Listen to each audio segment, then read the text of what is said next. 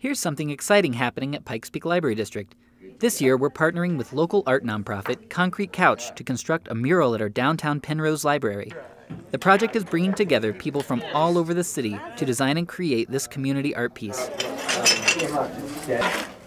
The final product will be a 4 by 98 foot mosaic and ceramic tile mural installed on a wall in Penrose Library's lower parking lot. So each group had a lot of uh, creative decision making for their section.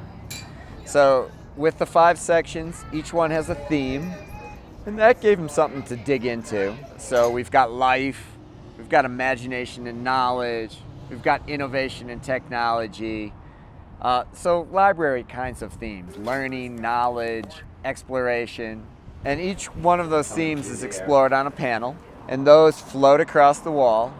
And then connecting them are metal units that kind of reflect the architecture of the surrounding, namely the Carnegie Library, as well as really funky homemade metal elements that relate to the panels. And then connecting it all together are going to be these earth toned uh, rectangular tiles that the group made beginning of the project to learn their techniques.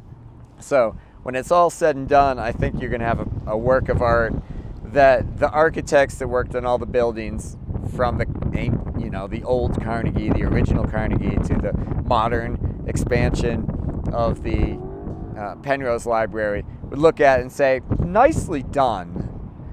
And at the same time, people who just walk up will be like, "Wow, cool! Look at that! Look at that! That wasn't there last time. Isn't that neat?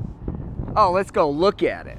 So that's the goal, and, and that's kind of the sign of a good work of art that it draws people in uh, and they want to look at it for a second time or a third time or a fourth time. The Penrose Library Mural Project is just one of many Pikes Peak Library District partnerships bringing folks together to create community in Colorado Springs. No, you don't need gloves actually for this.